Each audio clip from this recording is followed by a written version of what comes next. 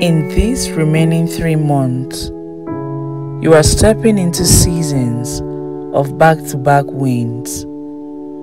Be ready to see more money, more life, a permanent job, and the best version of your life. Don't be discouraged. It's not over for you, even if you've made mistakes or failed at something recently. It's not over. God will do so much more for you that will replace all that you are feeling.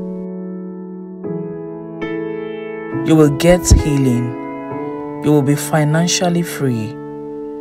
You will get that dream job you've been waiting on. Your business will have a lot of clients and your visa will be approved.